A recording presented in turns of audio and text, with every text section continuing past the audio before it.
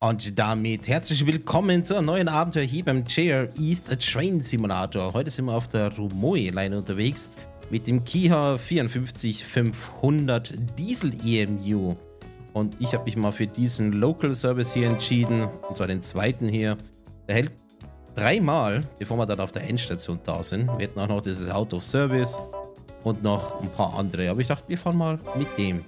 Wir machen es wie gehabt. Am Anfang gibt es ein bisschen Info zu der Strecke, zum EMU und sonstiges Wissenswertes. Und ansonsten könnt ihr die Mitfahrt einfach genießen. Und ich würde sagen, wir starten direkt los in Fukugawa. Fukugawa 6番留萌線普通列車留萌行きです留萌まで止まる駅は留萌6番出発進行大和田です ja, wir beginnen unsere Reise im Bahnhof Fukagawa. Der wurde 1898 eröffnet. Von dem Bahnhof zweigt die Romoi-Linie von der Hauptstrecke Hakodate ab. Oder Hakodate. Bin mir nicht sicher. Ich entschuldige mich schon mal für die Aussprache. Und äh, beide Linien werden von der JR Hokkaido betrieben. Auf der Hakodate Hauptstrecke steht vor allem der Schnellzug Super Kamu, die schnellste Verbindung mit Sapporo und Ashikawa her. Ergänzt wird das ganze Angebot durch die Schnellzüge Super Soya und Sarebetsu sowie den Schnellzug Ochotsk. Fukagawa ist nicht nur ein wichtiger Knotenpunkt, sondern auch bekannt für die Reisfelder in der Gegend sowie auch das jährliche Fukagawa Reisfestival.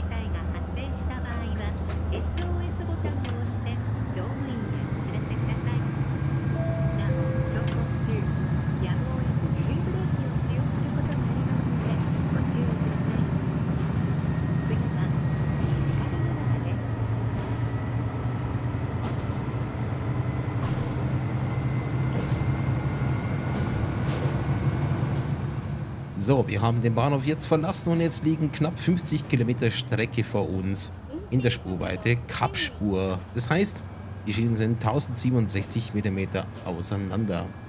Wir sind zunächst auf der nördlichen Teil des Ishikara-Ebene unterwegs, die eine Region, die vor allem für die Landwirtschaft sehr bekannt ist.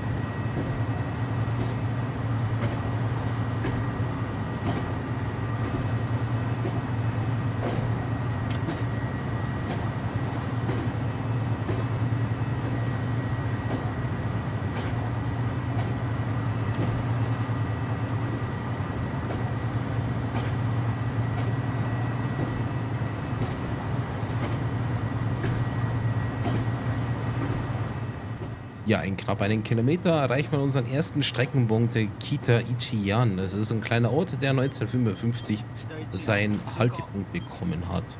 Obwohl wir da heute nicht anhalten werden, ist es trotzdem interessant zu wissen, dass das ein ganz typischer Bahnhof ist für die ganz vielen kleinen ländlichen Haltestellen oder Haltepunkte in Japan.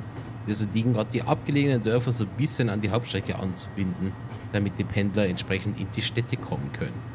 Es ist tatsächlich noch ein großer Bahnhof Haltepunkt, je nachdem, wie man es sehen will, im Verhältnis zu dem, was später noch kommen wird.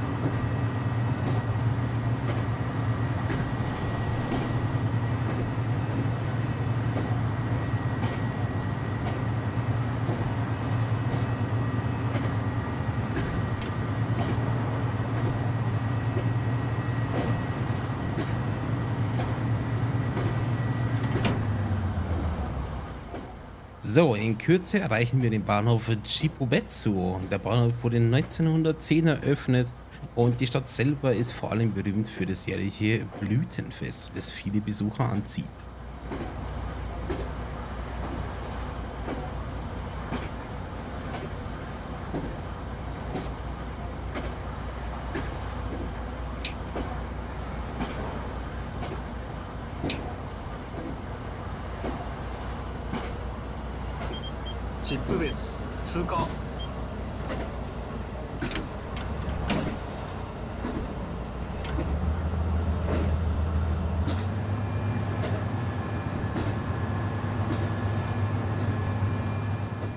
Unser nächster planmäßiger Halt wird sein Ishikara Numata. Wenn wir dahin fahren, wenn wir über den Uryu-Fluss fahren, und Ishikara Numata an sich ist ein wichtiger Verkehrsknotenpunkt.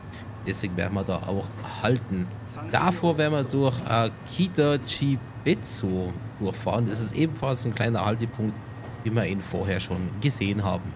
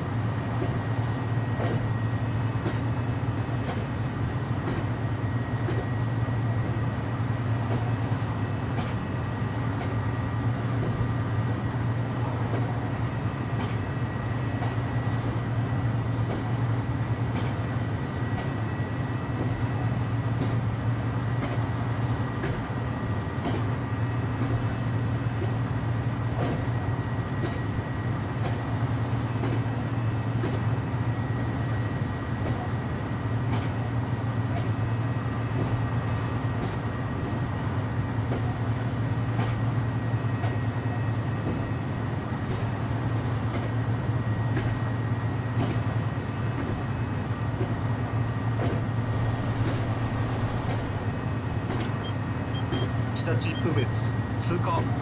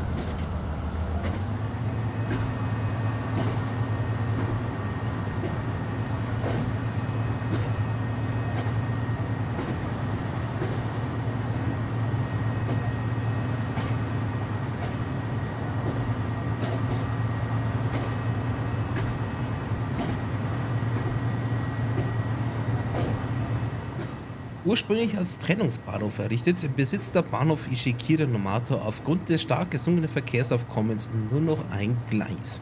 Die zwei übrigen Gleise sind entfernt worden, der dazugehörige überdachte Mittelbahnsteig wird nicht mehr benutzt und ist mittlerweile verfallen. Das Eisenbahnamt von Japan eröffnete am 23. Oktober 1910 den ersten Abschnitt der Rumoi-Linie zwischen Fukagawa und Rumoi. Der gleichzeitige in Betrieb genommene Bahnhof hieß zunächst Numata. Seinen heutigen Namen erhielt er am 25. April 1924. Mit der Öffnung des ersten Teilstücks der Sasho-Linie nach Shintoku-Sokawa wurde Ishikara Numata am 10. Oktober zu einem Knotenpunkt. 1931, so. Zur Unterstützung der Rationierungsmaßnahmen während des Pazifikkrieges erklärte das Eisenbahnministerium den Abschnitt zwischen Ishikara Nomata und Ishikara Owake zur nicht dringlichen Strecke und legte ihn am 21. Juli 1944 vorübergehend still. Nach über zwölf Jahren machte die japanische Staatsbahn diese Maßnahme 1956 wieder rückgängig. Gleichwohl hatte der nordöstlichste Teil der Sascha-Linie nicht mehr lange Bestand. Die Staatsbahn legte ihn am 19. Juni 1972 endgültig still und baute die Trasse später zurück. Aus Kostengründen stellte die Staatsbahn am 15. November 82 die Güterumschlag ein, am 1. Februar 84 auch die Gepäckaufgabe.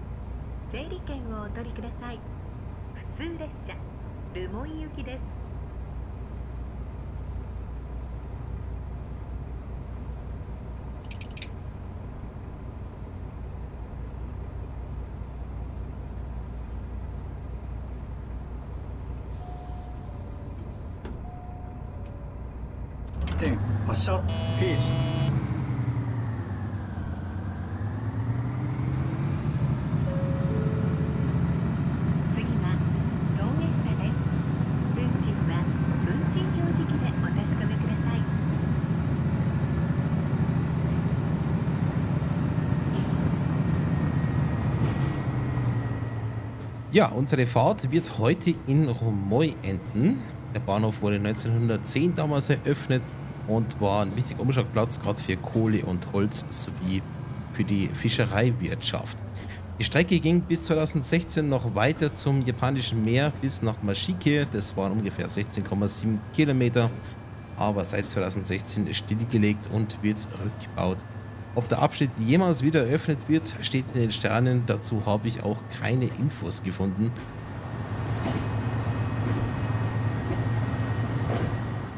Ja, da hätte ich wohl noch ein bisschen weiter lesen müssen. Es steht sogar drin, dass die ganze Strecke seit dem Bahnhof, wo wir gestartet haben, eigentlich eingestellt werden sollte.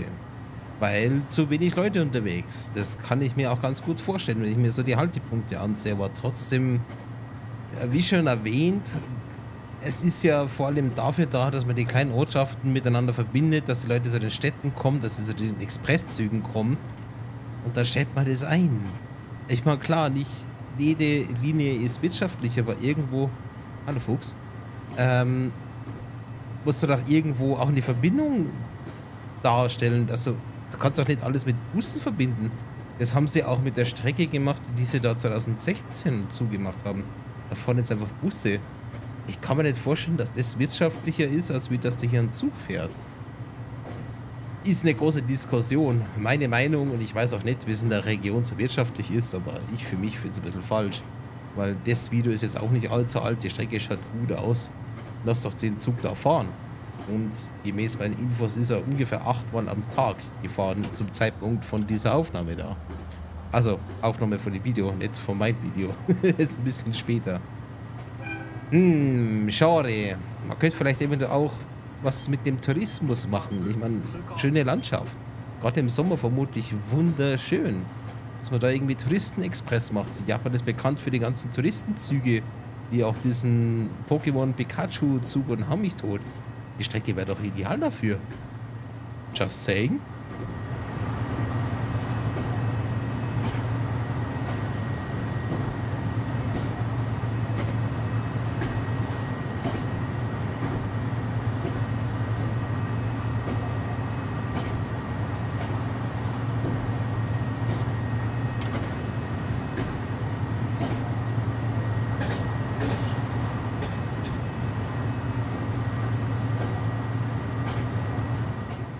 An der Stelle werde ich euch erstmal kommentarisch verlassen, denn das Allerwissenswerte habe ich euch schon erzählt und es ist halt eine kleine Nebenstrecke, aber eine schöne Nebenstrecke. Euch erwarten noch ein paar Tunnel und Serpentinen nach unten. Wir müssen immerhin aufs Nulllevel runter oder einigermaßen aufs Nulllevel runter. Und ich wünsche euch noch ganz viel Spaß bei der Reise. Und wenn ihr Lust habt auf mehr, lasst es mich wissen in den Kommentaren. Und jetzt erstmal viel Spaß hier beim Zugucken und wie ich gut anhalten kann. Ciao!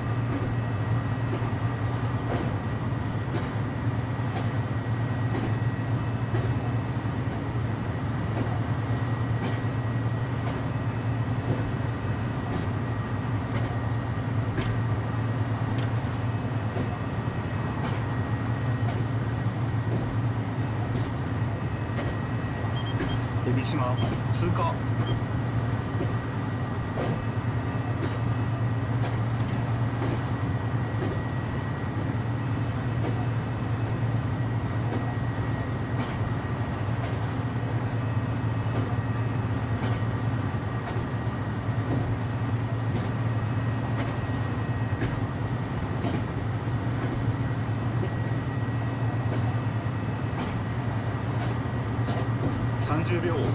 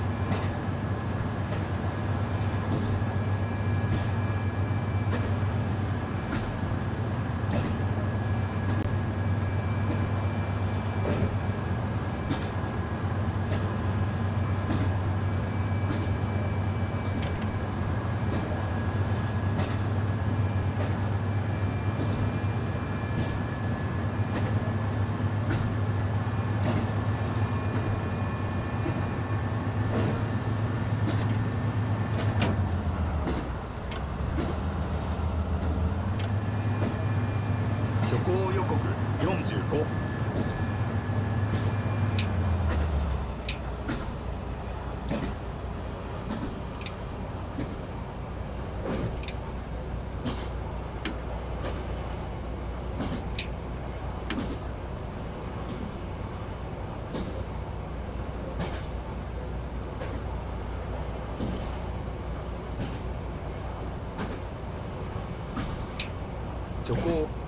어?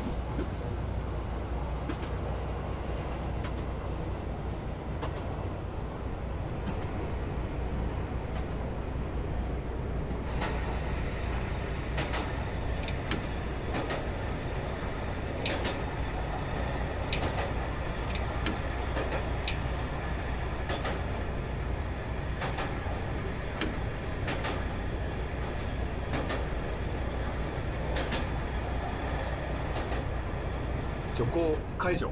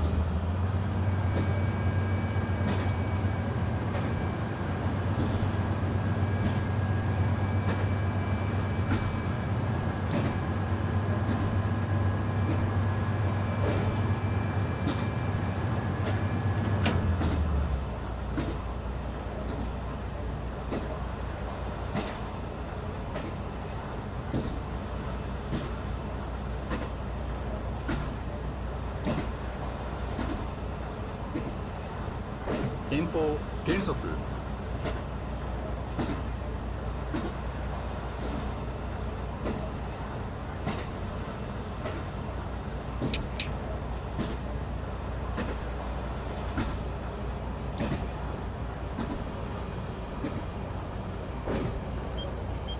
峠下1番。町内注意。峠下停止まもなく峠下です。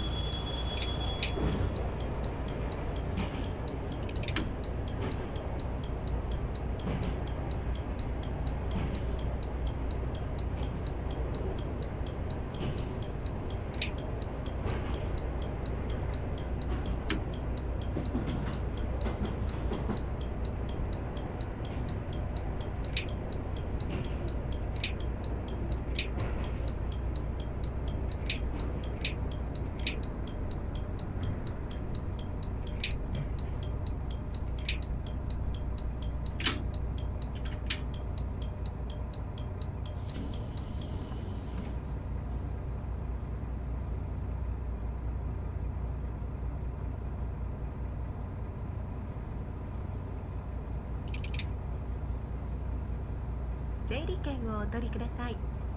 普通列車、留萌行きです。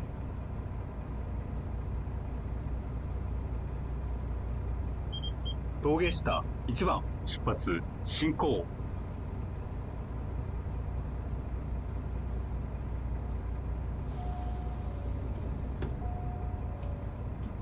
点発車停止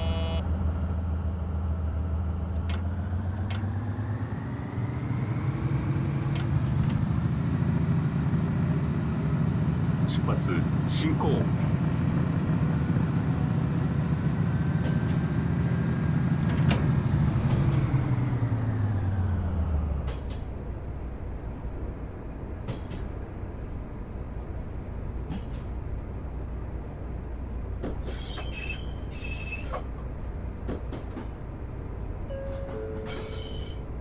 次は大和田です。運賃は運賃表示器でお確かめください。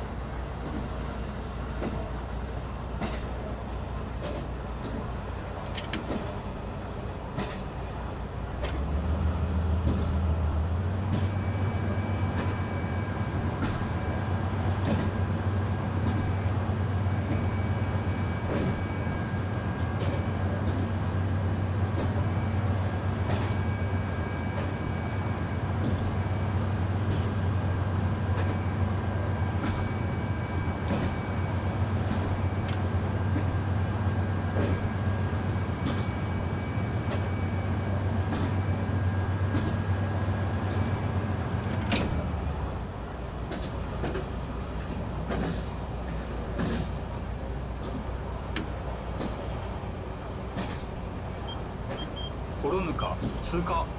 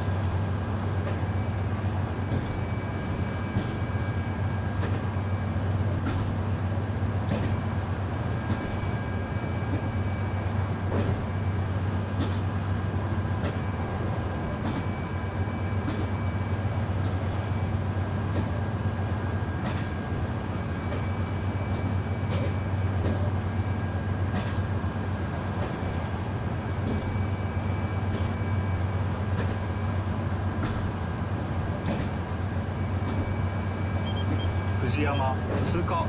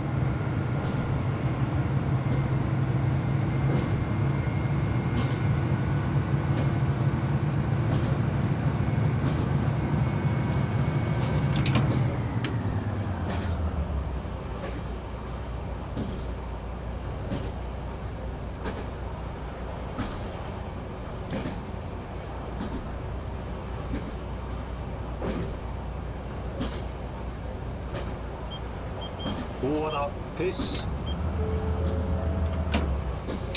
まもなく大和田で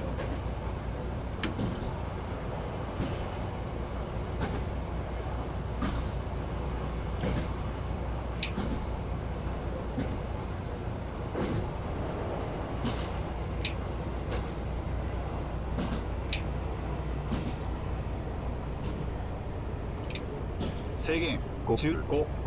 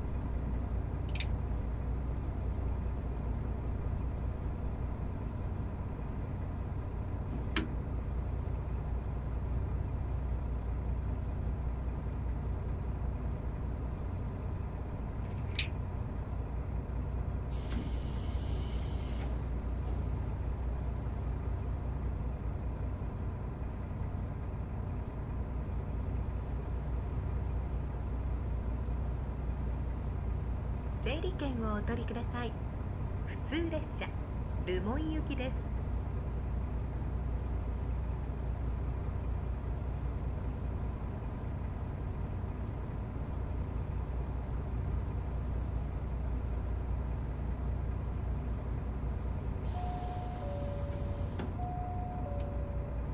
点発車ページ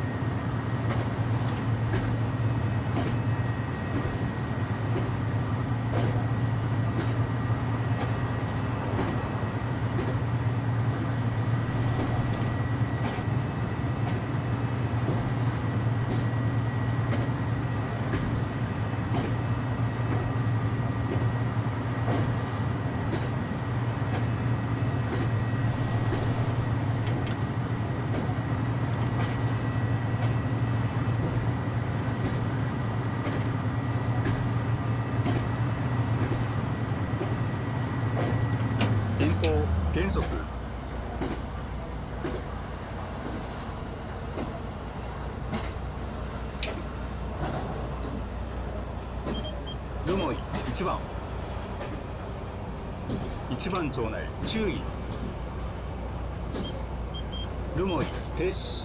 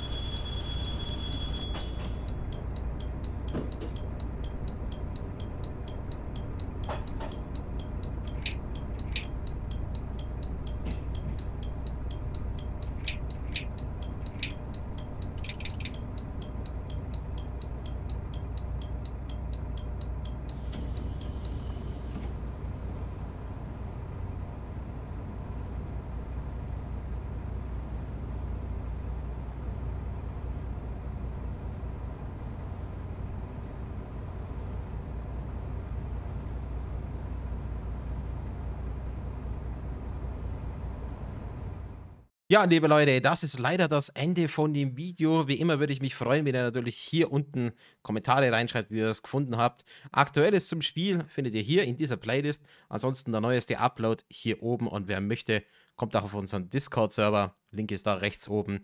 Gibt auch immer wieder gratis Spiele und da könnt ihr auch mit mir quatschen und natürlich der Community.